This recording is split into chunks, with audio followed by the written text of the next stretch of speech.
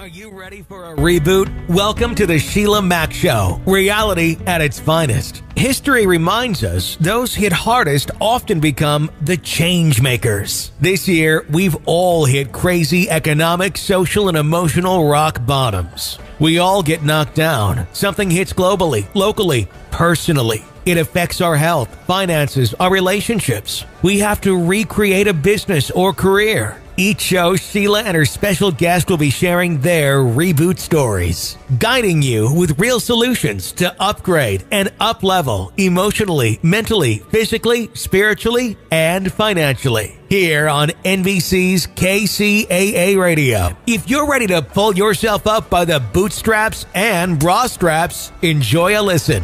Here's Sheila. If you are just tuning in, welcome to the Sheila Mac Show. This is Sheila Mac, your host, and you are tuning in to NBC's Sheila Mac Show right here on KCAA Radio, the station that leaves no listener behind. I'm your host, Sheila Mac, and today I'd like to give a special thank you and shout out to Mel Science for today's episode sponsorship. Now, this episode is all about parenting and education for our children. So, one of the things that I loved about Mel Science is that Mel Science is a subscription service that offers monthly science boxes which combine hands on experiments with VR and AR technology to engage kids in studying science. They are breaking the stereotype that science is boring, difficult, and only for certain types of people. Mel Science strives to make serious science accessible interesting and cool for all. So now, personally, oh, I actually did order and have two boxes, two different science kits that we got to learn with at home. And I I was really impressed now. I have raised six children of my own and I also was a um, Montessori teacher for many years. I, I do highly recommend this this program, and I I only wish that I knew about Mel Science when my little ones that are now grown were little. So this is now for grandchildren. Uh, so Mel Mel Kids is a program that's available for children ages 5 to 9 plus. They have 18 STEM do it yourself projects, new topics every month delivered to your door. Yet it's not, parents, don't worry, it is not do it yourself. It is actually augmented reality science lessons free in the Mel Kids app. And there's free online lessons with professional science teachers. Your children will be learning through story time, storytelling, and it'll be fun. So that's what I love the most about it. Now, as your children progress, there is Mel physics, and that's for ages 8 to 14. There's 18 exciting physics sets, 2 to 3 new experiments in each box with a new physics topic every month. Free VR lessons in the Mel VR app that takes learning to a whole new level, and a free online lesson with a professional science teacher or teachers. And then as you move on, Mel Chemistry is for ages 10 to 16 plus. There's a free starter kit with a free VR headset that comes with your first box. And it is a monthly prepaid subscription. There are 24 chemistry sets uh, free VR lessons in the Mel Chemistry app, and two to three new experiments on a new chemistry topic every month. So you can, no matter what your child's age is, you can start plugging science into your routine. If you are homeschooling right now, this is, I can't recommend this enough for homeschooling parents. And also, this is a wonderful gift, uh, grandparents. If you want to give a gift that keeps giving every month, then and will bring so much education to your child. This is something I do highly recommend. Now, if you would like to order, you can go to melscience.com. And with that, right now, anybody tuning in just use the code Sheila, capital S, all caps, S H E I L A, and you will receive 60% off your first month of the Mel Science. And for those tuning in, this is a special episode. So today we have an author that writes books about entrepreneurship, and we'll be learning more about how to educate our children in entrepreneurship. And later on in the show, I will share about the Mel Science giveaway so your children and family will have the option of winning a Mel Science kit as well. All right, so tune in for that. And now we're going to get started. Today, we have a very special guest. We have Timothy Bauer. He is the author and illustrator of many children's books, including Lucas the Dinosaur Entrepreneur.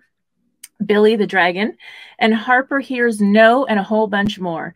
He is the founder of Dinosaur House, a company that makes kids' books for entrepreneurs. He also hosts a variety of podcasts, such as The Literacy Advocate, Be to be growth, the purpose driven entrepreneur, writing better, and the up and coming illustrator. Timmy's contributing writer artist for the Children's Writers Guild magazine. While the kids' books author career was taking off, Tim, Timmy was also also a Disney actor. I love it. Man, you're reading the whole thing. yes, and Timmy's dream is to make books that ignite a love for reading in kids while inspiring them to think about grown up topics like entrepreneurship, finance, and personal values. Outstanding. Well, welcome to the show, Timmy. Thank you so much for having me, Sheila. I'm excited to talk to you.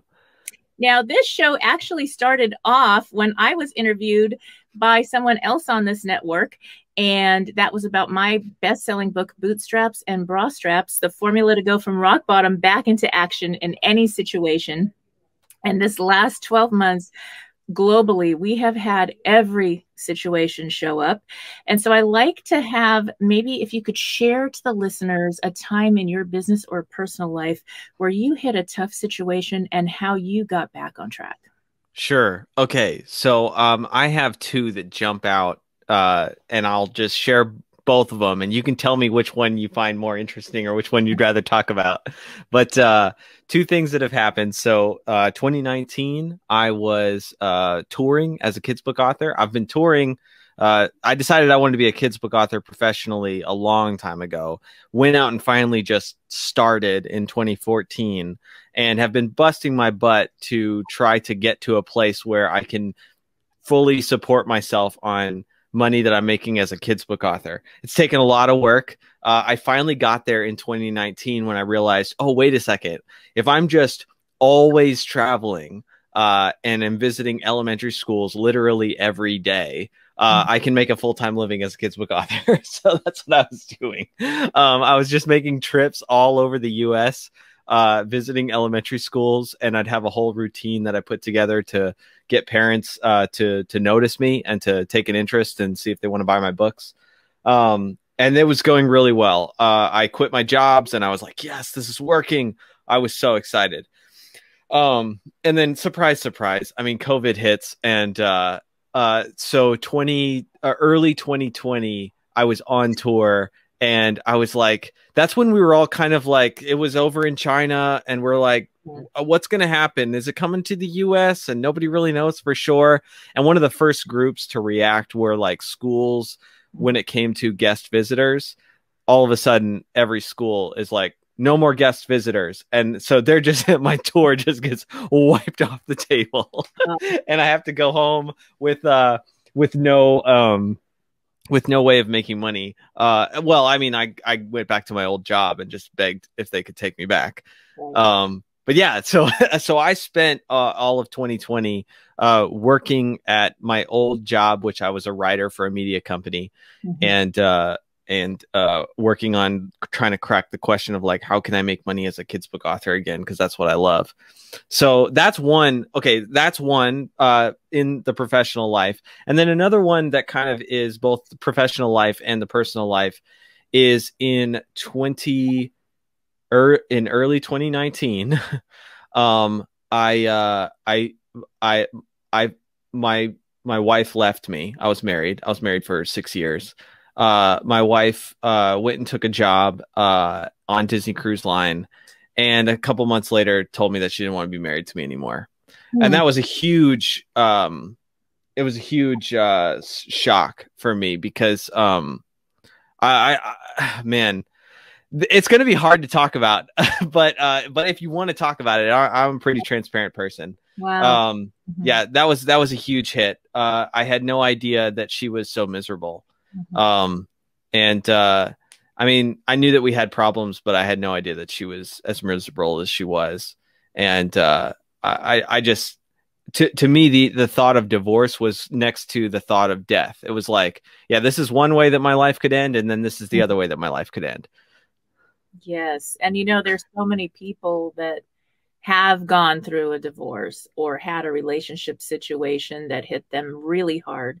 And when you go through something like that, it affects every single other area of your life. It's not just your relationship. It affects, I mean, because you have common friends, it affects your finances, it affects every yes. single thing. I, I have a whole chapter of on that in my book and then special gifts for people that are going through that and free courses and things because it is such a tough journey and sometimes for whatever reason one person or the other isn't aligned it it it's really not a representation of you or that other person it just is what it is and when you get to the point where you're able to know that something better will show up that's more aligned for you that's okay but it's it takes a while how long did it take you to rebuild after going through that process? uh, yeah. So it was an interesting time because um, from 2014 to 2018, I'm just busting my butt trying to figure out how to make being a kids book author a full time thing. Um, mm-hmm. I'm working for Disney as a performer all, all through this time and uh, I just keep hitting these like little wins where it's like, oh, I, I went and I toured this area, and you know, um, oh, if I if I if I line up my tour dates with their with their book fairs, uh, I ma- I make more money that way, and just like little just discovering hacks, you know, that that worked. Um, but then uh, in 2019, uh, she had left and at first, it was just she was leaving to go take a job that would have had her traveling, and we would have seen each other, you know, weekly, but just a couple of days a week. Um, but all that time away, I fill the time with traveling, mm-hmm. and uh, and all of a sudden, I get discovered uh, by a little network of schools in Miami and they mm-hmm. just start telling all their principals about all the, the principals in that network about me and it just it, it just keeps uh, getting bigger and bigger and bigger. So, uh, and right around that same time is when she told me that she didn't want to be married to me anymore. So I am simultaneously experiencing this soaring off of my of my entrepreneurial self into mm-hmm. success, while um, personally I feel like I am shattered and it, was just a weird time because I, I'm literally like going into elementary schools to perform and read for the kids and you know do all the stuff that I do at the schools. What and then as soon as I, I come away from that, I'm basically a crying, shattered mess. mm-hmm. Mm-hmm. Wow, you know, yeah that sounds it was a dark time. sounds to me like that was your therapy. That was a lot of us are guilty i know i was too of work therapy or yeah. where you can put all your efforts and energy into something where you don't have to think about what else is going on yeah. uh, and you don't have to grieve over whatever. You can just focus on the good and helping others and that's beautiful. And it's and then you have your time to heal when you're not doing that and it's like it gives you little breaks from the healing process yeah I, I, would say for me it was more a distraction than it was therapy but what one thing that was nice is that all the touring was constantly putting me in different locations yeah. and um, there was one tour that i did where i toured arkansas and i just made a point that after every school visit i would go off into nature and mm-hmm. just pray mm-hmm. And uh, oh my gosh, I spent so many days climbing mountains and crying and talking to God. nice. Yes. and that you know we all need that in our life and that's okay i think that for those listening in if you have gone through a tough situation or are currently going through a tough situation let that be okay that time and space sometimes going in nature or finding where whatever that is for you whether it's yoga nature singing whatever and have that time to process to heal and also to think about your next steps. Because a lot of times when we're in a place of hurt or um, we want to be distracted we may overspend or we may make decisions that are based on our emotions versus based on the decisions that we really need to make that make sense so I'm i would say I made a lot of I made a lot of decisions based on emotions. Yes. in 2019. When, I was making a lot of money and being broke the whole time. Yes, that happens. And it doesn't matter if you're a, a billionaire. This happens to anybody going through a situation like that. It's the same story. Yeah. It is it's oh, a universal thing. and, and I would say I would I would put a caveat around making a lot of money. I guess what I mean by that is I was I it was it was becoming the most well-paid job that I've ever had. Um, but uh, so this may surprise some folks. Disney does not pay very well its performers. Um, so please don't think that I was making a lot of money. Um, but I was. It was the most. It was becoming the most well-paid job that I'd ever had, and um, and I was I was able to like eat more than ramen and eggs, which is what I'd mostly been surviving on. mm-hmm, mm-hmm. Yes. but also also have money for plenty of bad decisions. Right. I drank a lot of alcohol in 2019. There's this Bible verse. Uh, I'm a Christian, by the way, so you're probably going to hear this in in the conversation quite a bit. But um, I I was going through just a crazy up and down emotions and spirituality and everything. Um, there's this Bible verse, and it, I would offend my Christian friends whenever I would share it, but it says, uh, "Give wine to the one who is sorrowing, and strong drink to the one who feels ready to die." and I would say, I would say, hey, I am just, I'm just applying the Bible to my life right now. Good use of it. Now that that can be applied to anything, and when you think about um, any religious studies we can apply it to our own what serves us. But i know that you knew inside and your friends knew and it, you have a knowing that it's like okay but yeah really. And it's really not the case but yeah. but it, I, I, knew i knew it needed I, I knew that what i was i knew that plenty of the decisions that i was making weren't healthy but I was in such a place emotionally. You like I I don't know too much about your your personal life, Sheila, and I can't wait to dig into it with you on the purpose driven entrepreneur.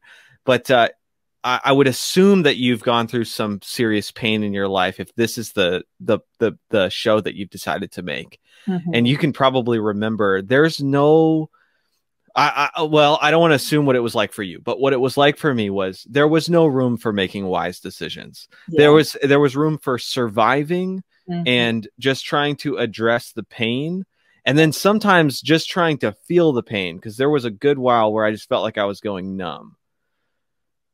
Very, very normal, and very much a part of that process, the grieving process. Uh, very much so and the, the reason i wrote the book and the reason i have this show is to help people when they're going through those points in life whether it's divorce loss of a loved one dealing with a career switch or shift like we've all had this last year whatever it is reinventing yourself where you have to walk uh, down a different road and go through this process alone. And I don't want people to feel alone and that there are so many ways to get back on track. So, like, I created this method that I use to get myself back on track when my house burned down uh, in oh, 2017, the Ventura fires, and I had just finished traveling for seven years straight. Had a great time and and did a whole bunch of uh, personal development fun and worked uh, on the road doing events, and then lost my house, my cat, and my car all in a few days. wow. And it was, what do I do? And what I did to get back on track was I sat down and I wrote out the formula of what I always do. And it was kind of what I would want to tell my best friend going through something. Oh man, that yeah. Uh, that reminds me of something that I heard when I was going through this, which was, um, and I never heard, I, I think I probably heard it before, but I had never done it before. Yeah. And, um, there's this podcast that I was listening to, uh, where the guys are talk at one point, they were talking about, um, an exercise that you can go through if you have a lot of self doubt or if you just, you just think very low of yourself.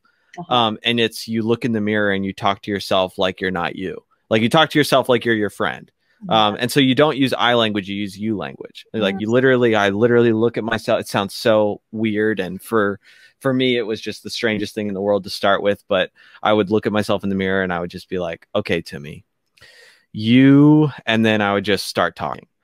And at first it felt so weird, but um, it was surprisingly healing. wow, listeners, that is a beautiful application if you, you know, for yourself or someone going through something to go to the mirror and love yourself and look at yourself as if it, you are your best friend or your closest sister, parent, whatever, and, and start giving yourself the advice you need to hear and to love in a beautiful way. I think a lot of times we have a lot of negative self talk that happens yes. that maybe a voice from maybe a parent or a teacher or something from the past that hopefully your amazing books erase that or stop that in their tracks so that we don't continue that pattern but it does tend to happen. And you hear these these other voices and it's like well that's not that's not i would never speak that way to my best friend. Wait a minute. Yeah. Yeah. I'm working on a kids book right now called a kids book about or it's called a picture book about rejection. And mm. uh it it's inspired by my experience, and uh, it's literally meant to try to get across to a kid the things that I needed to tell myself when I was going through this. And also the exercise of looking at yourself in the mirror. And I say in the book, I'm like, I know this sounds super weird. Uh, it was really weird when I did it. that is so beautiful. And now, do you have children?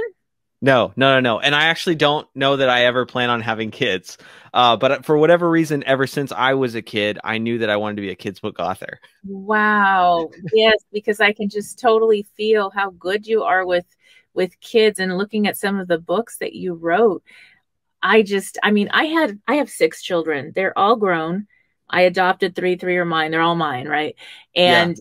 those books are exactly what's needed and what I would want my children to read. Those... What made you decide to adopt? That's a good question. So for me, I was in a very abusive situation growing up and my mother told me to leave home because it was so dangerous so much you know broken bones and terrible things so i left they went from home to home different relatives my mother was staying with and so i left and i was homeless from 10 to 13 and a half then I found foster care. I emancipated at 15. I became a mentor. I ran gift stores that created training programs for kids in foster care. And when I had my first child, I was told I couldn't have any more. And so I wanted more. And so then I did foster to adopt and had three. That's then, awesome. how interesting these things, this was a soul contract, a guided, God guided thing, perhaps, that then I had my last two birth children that were supposed to be impossible. And so and so that happened and it's something that's always been in my heart to do. Uh, my daughter actually is a social worker um, with a girls home now that helps young teenage girls that have babies already and she's their counselor and she's only in her early 20s and so it's something that in our family is just part of what we do to give back and it's it's yeah. really important to us I, I, I love it. I um I don't know if I will adopt, but I have said before when people have asked me if I plan on having kids, I'm like, well, there's already a lot of kids in the world. Mm-hmm. Um, I don't know that I really need to add any more. And it, for whatever reason, it's offensive to people, but to me, it just seems kind of logical. yes, no, and it's it's funny because I have like all these kids that I have. They're so diverse and different, the little rainbow of children that I have. And they they're a lot of them are kind of leaning toward that. And I say whatever form that takes in your life, whether you are adopt adopting, fostering, just through your books, helping with other children, it's whatever comes to you that's right will be right and Yeah. it will perfect and it will show up in perfect time. It may change um, and whatever it is like i say as um, i haven't had any grandchildren they're all grown i'm like hey what's up? But it's okay. However they show up it's all good and if they don't that's okay because there's so many to help and be involved with on this planet and it it's it really is. Those children that i fostered to adopt are the same as my children. As Yeah. far i really believe it was a guided situation it was beyond it was something that was in the plan Yeah.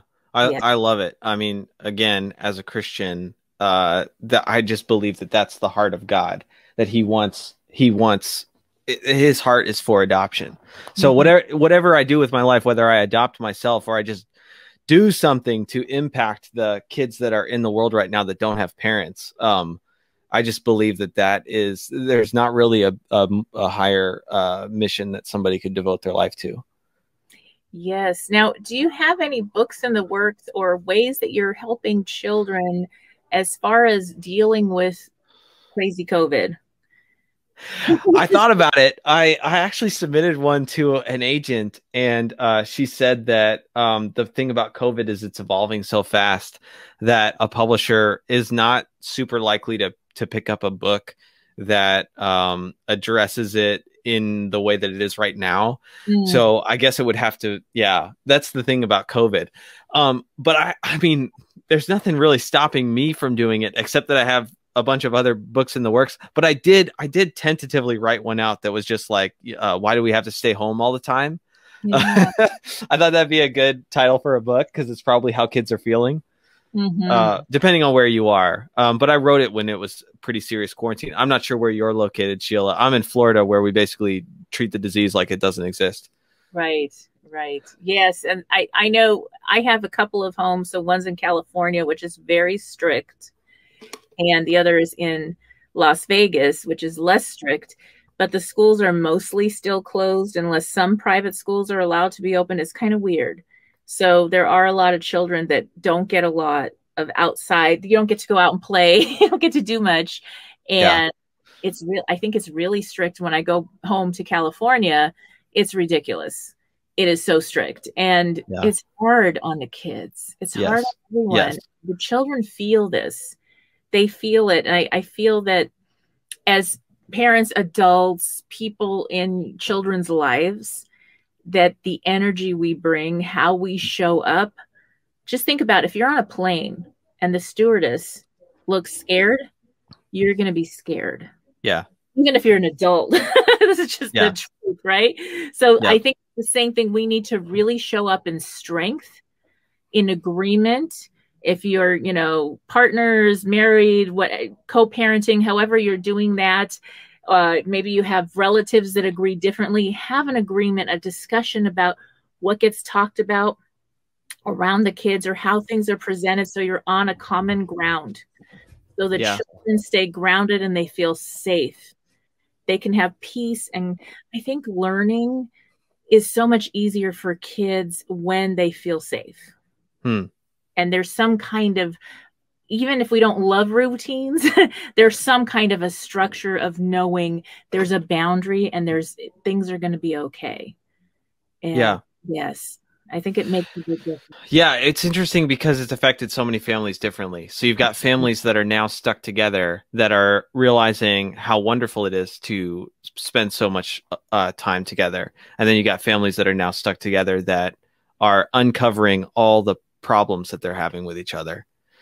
yeah And uh, fortunately for me, I haven't really had too much of that. Um, the people that I've been stuck with for most of this have been people that I've loved hanging out with.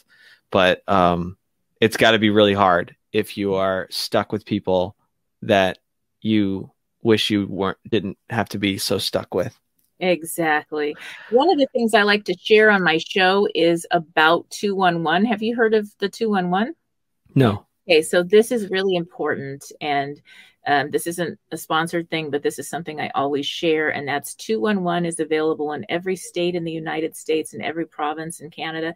And if you dial it or Google it, you will find a list of help and resources, whether that's getting food on the table, helping to get a job, um, help for veterans, seniors, help with childcare, lots of mental health help. And you, you know, you talk about living. What what brought that to mind was when you talk about living in a home that maybe not isn't safe, or where a situation isn't right or somebody is dealing with an addiction or there's an abusive situation going on, that's where you can get free help in any state or province in Canada or state in the United States. And I, I just feel really guided to share that because that's something just just to post that in your work groups if you run zooms share it at work if you actually go to a physical job again or with other parents. This is important. A lot of times people are afraid to ask for help when they need it. They won't admit it maybe to their friends. They want to save face, but maybe they really need the help this year. And that's okay. So if you do need help, ask for help when you need it or share that with someone that comes to you. Maybe you can't help them, but just giving them that information could make all the difference this year. Yeah. I agree. And I think people need community and it's really hard to have community when there's a global pandemic right. but we need it uh, to to handle to handle difficult problems. I mean, for me personally, when I was going through the divorce, I needed to be able to break down and cry in front of people. If I didn't have that, I don't know that I would be okay now. Right. Yes. Now that brings us back to church and whatever religion you are, if you're listening in or not, that's okay. But there's something about community, whether it's a church or whatever you belong to, that a lot of our communities are closed down right now. Churches, are you, do you have churches open in Florida? Yeah, we have churches open in, in Florida. Um, and they all have different, I, I don't know what the current restrictions are. There's a lot of churches that are closed and there's a few that are open and they're open with restrictions. We've been mostly doing church at our house. Uh, but, um, if I wasn't in a house full of people that wanted to do church at the house, I'd, I'd personally, I'd be like, okay, well, COVID aside, I, I need community. Yes, in a lot of different places. I, I had favorite. Um, I actually owned a church, so I have a lot going on in my life. But I also have favorite yoga studios and and favorite other people's you know places of worship that we would all go together in in California because it's very diverse there, and they're closed down for good because of the economy. And so it's really hard because when you think about going through grieving, going through a divorce, anything you're going through the healing process is in those those steps those traditions the faith traditions of your family of your friends having them close together. It really helps. Now for my family and i we lost my youngest son um, he was 22 and he had a heart condition called wolff parkinson white syndrome. He passed away uh, december 21st 2019 oh wow. That was like whew, you know covid's nothing. That, that for, for our family it was that was our the hardest thing in our lives. And going through that uh, are having a community and a place to pray and and and having people around us surrounding us to to hold us through that time and even people sending prayers and intentions and blessings and all that i i really believe that we felt it. Yeah yeah, we felt it. and it was like when we couldn't walk, it carried us through. And yep. I believe that. And now, now, maybe you don't believe in anything and you're listening in, and you know, this isn't a religious show, but it can be. scientifically, scientifically, now they have studies that show, my gosh, they put intention um, on water or different things across, and you'll see that the structure changes uh, the molecular structure of water will change when you put peace and love and different things mm. across. And there's all these scientific studies on prayer and meditation and how these things work for people and help. So we, you know, we need that more than ever in this time where we have so much that's uncertain. Yeah. Yeah. yeah. For for me personally, I just found so um I, I was touring in Arkansas and a friend of mine, she just started taking me to different churches on Sundays because I, I, spent uh, uh, five weeks there. And so this was this was at a point where my heart was pretty numb. Um, I just couldn't really feel any. I was starting to get to a place where I couldn't feel anything. So mm-hmm. I had I I had been drinking a lot um, the the reason I started drinking so much was to help me just open up uh, because uh, you drink enough alcohol and it's just gonna come out of you, uh, mm-hmm. all your all your feelings. And so uh, that's what I was doing at first, and then I I was at a point where I was just I was drinking so much and still going numb. And then mm-hmm. I started doing other stuff. I was like, I would go to the gym and I would go, I'm gonna work out until I until I can't move anymore. Uh, just trying to literally trying to hurt myself um, so that I would be so that I would be in pain so that I would feel the sensation of feeling things. This sounds so I don't know. I, I think because I'm a three, I like hear myself talking right now and I'm like, you sound like a whiny little uh and we're on the air, so I can't finish no, that you're so, you're so spot on because everybody has like I would say 99.9% of the people I've worked with, and even myself going through my own divorce at one point years ago, yeah, I, you know, I might have done different things. I didn't really drink, but, but I'm not advocating for alcohol, except I kind of, in a joking way, am pointing to the fact that there, it did, it was part of the story. It right. was part of the story. But what was so crazy, where I was going with this is, mm-hmm. um, so I'm in church. I would pray. I would uh, there'd be you know people worshiping around me, and then I would just break down and start crying. And mm-hmm. I and I would start crying, and then I would start sobbing, and I mm-hmm. would just be like bent over and sobbing. And I'm going to get emotional thinking about it now. Um, and the the reason that it was so emotional for me is because um, when someone divorces you, uh, they're not just saying like hey you know what i think we should go i think we should go separate ways like you know there might be some divorces that go that way but uh not this one um it was uh it was i don't want you anymore you know kind of thing and uh um just the feeling of not being wanted and not being enough and not feeling like you're worthy of anything uh not not feeling like um not feeling like someone w- will someone ever want me again? It, this sounds so petty to say, but in that moment, um, yeah. I did. Uh, I don't. I don't yeah. just want to bash her. That my goal is not to get on here and bash her. Um, but in a very low place, feeling unworthy and uh, not not. I remember thinking like I just wasn't made right. I just wasn't made the right way because I wasn't made to be to be to be wanted. Like whatever makes a person wanted, I wasn't put together that way. Mm. Um, and uh, just in church, worship, worship going on all around me. I'm crying, and I'm just hearing the Lord saying to me, uh, I, "I like the way that I made you," mm-hmm. And uh, I would just break down sobbing. Yeah. Um, and what's cool is when you're in a church and you break down sobbing, everybody just puts their hands on you. right. um, so they don't think that you're a weirdo.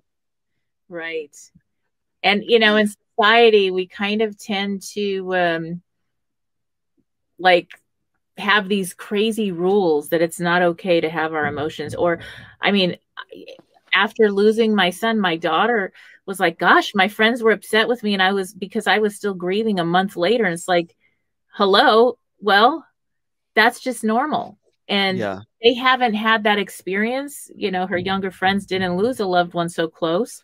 So they don't they don't have something to really uh, people were getting on your case for grieving a, a month later? Yeah and i was like you know what? a literal yeah month? literally literally. And and it was it changed it was like oh wow wait a minute. And it, it made her reassess her friendship circles a little bit and and realize some friends are you know friends you work with that maybe go have fun with but they're not really aligned on the value. And it was probably such a good thing to happen at a young age versus later. But that will yeah. happen and so when you find your peer group and your friends and you're in a church or wherever you're at and you find people that support you and that means that they give you tough love sometimes when you know when they need to just you know hold you and put their hands on you that's one thing but they'll also say okay now i'm going to help you out or when they see dear sheila my mother has struggled with gambling addiction for all of my life. She has never been able to save or manage money. And she has been fired in the past for missing too much work because she would call out sick and then go gamble instead. She has not had a job in 10 years.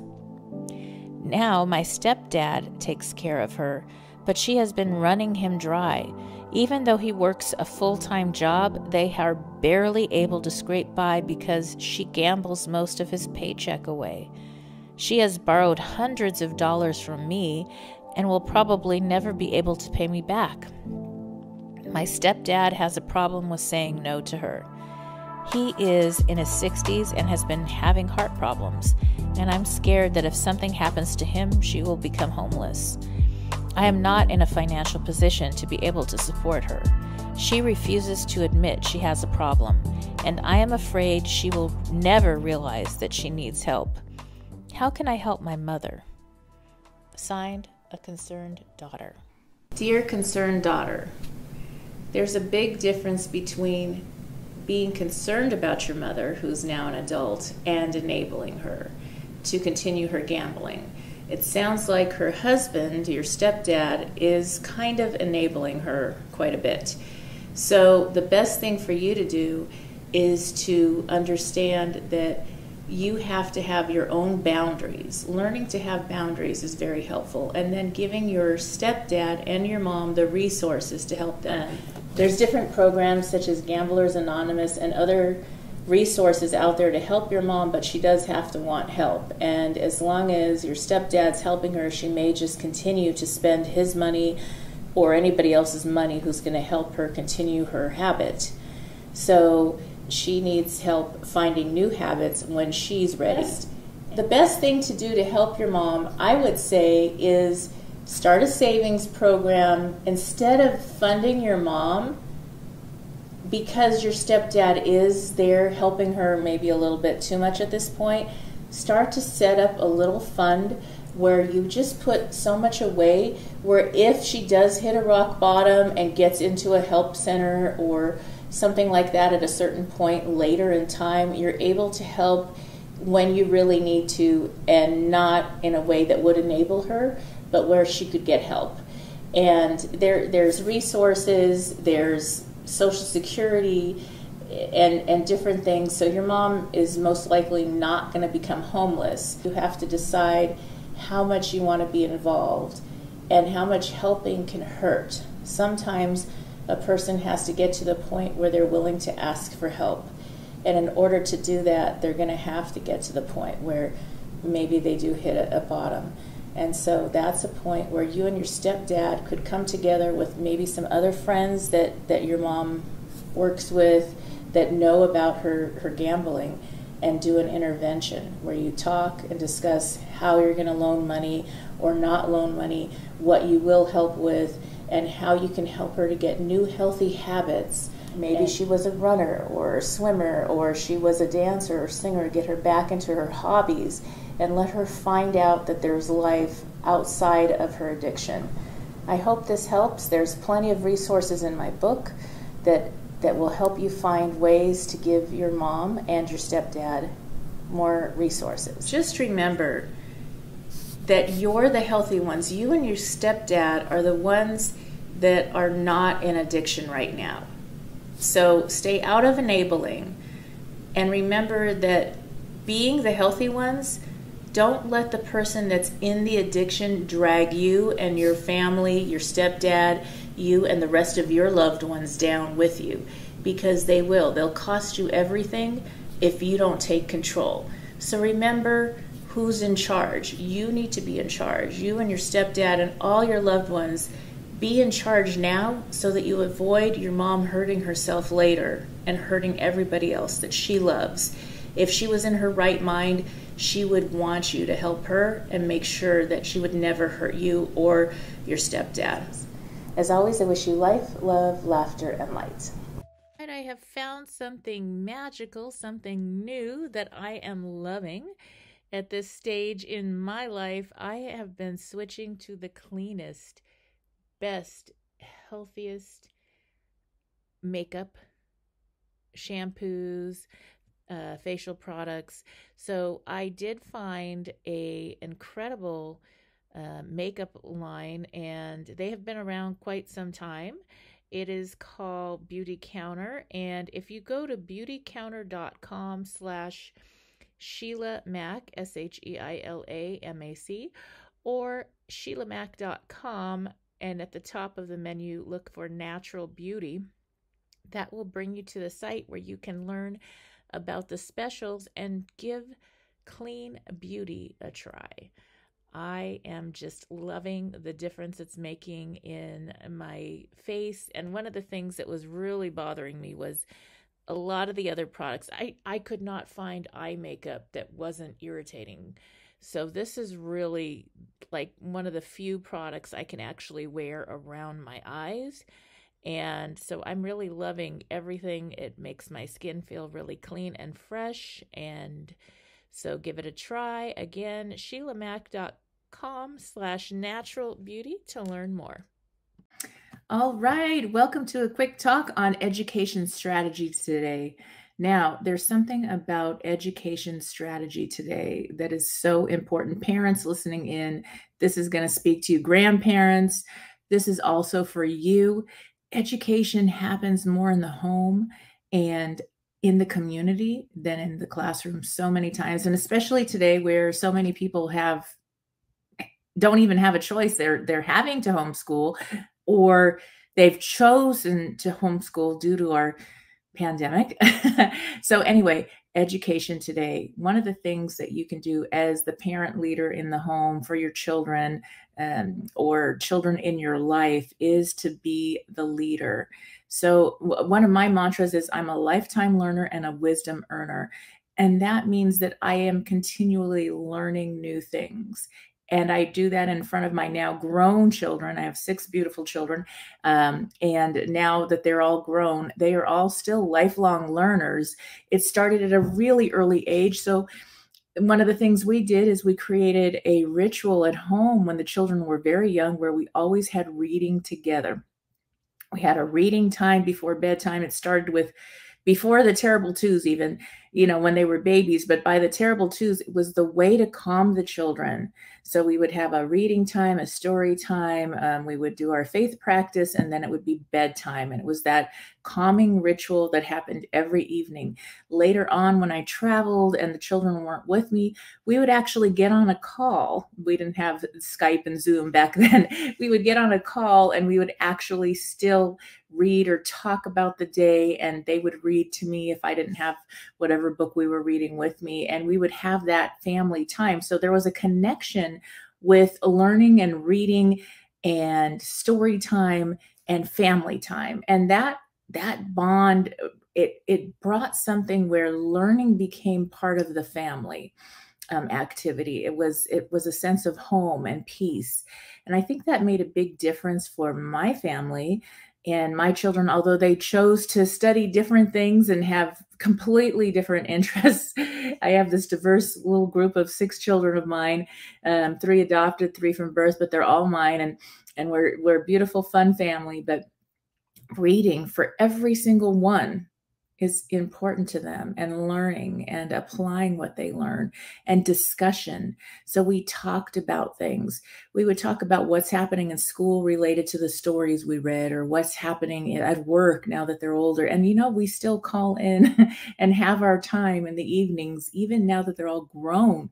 Uh, so that's really important. You'll always be my baby parenting teenage and adult children. And I dedicated an entire chapter in Bootstraps and Bra Straps to parenting.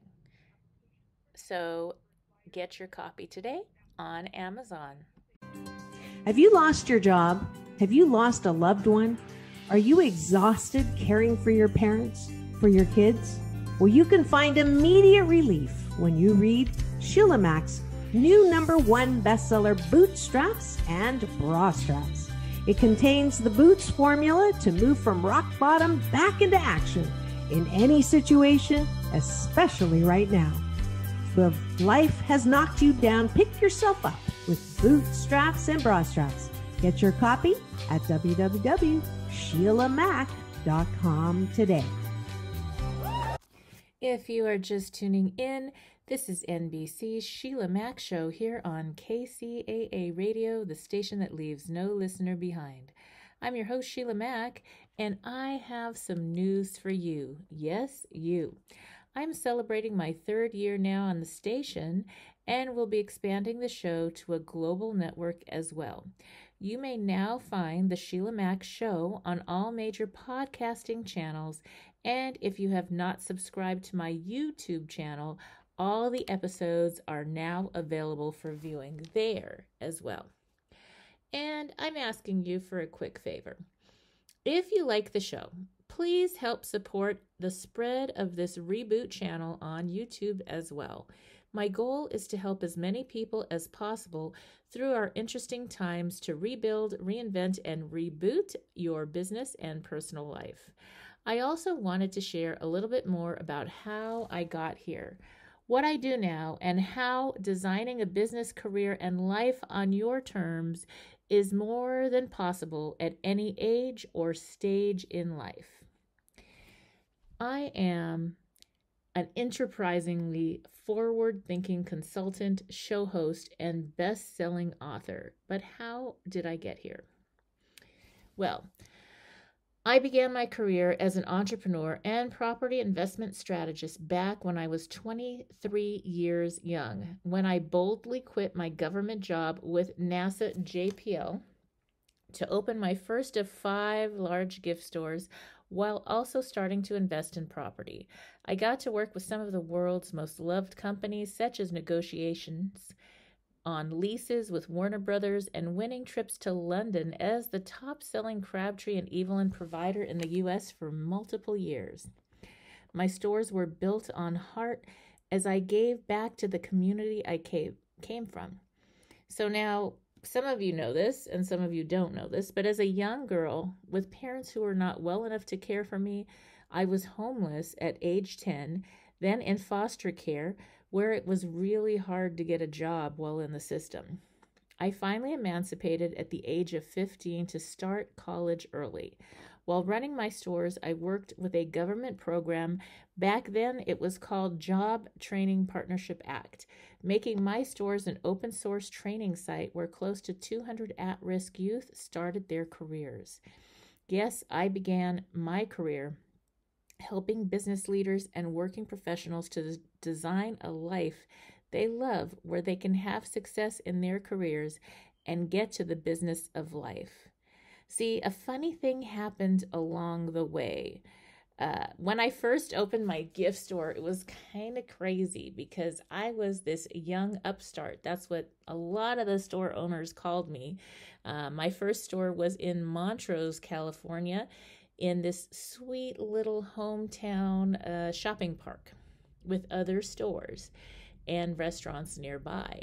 And so I was the young upstart that didn't know what she was doing. At least that's what everybody said.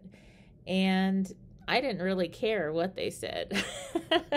Uh, I, at that age, you know their opinion was like i don't really care.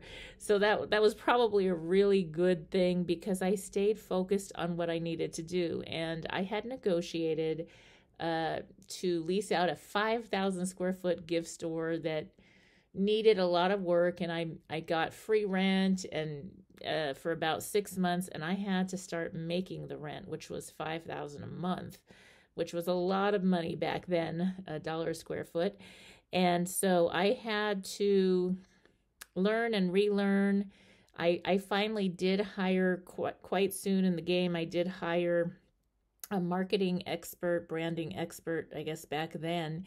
And uh, that lady really helped me to figure things out when I first started. And when you first start a business, especially when you're young, it was like I had no idea what to do, but I needed to learn because my rent was going to start coming due every month. And over that time, I started having more success. I did crazy things like stayed opened until almost midnight every night, along with the restaurants who were very close to my store, while everybody else closed shop at about 5 or 6 p.m. So I was making more money from the start, and I just really my store was to help my kids and the products I sold was whatever the community wanted. I sold lots of things to people in the entertainment industry. I worked with cruise ships. I worked with many different people in the community. And later on, the store owners actually came to me and asked me if I would consult them and help them.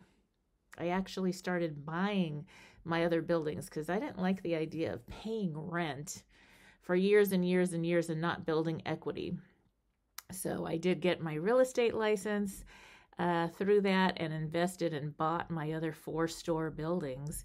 And uh, lots of the other store owners worked with me, paid me to consult and help them do what I was doing. And I didn't really even know it was called consulting.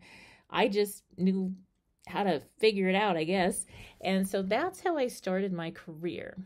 And now you know, I raised six children, all that, and now they're grown. And so I get to come to work every day and do what I naturally do best as an entre- enterprising and forward thinking business leader.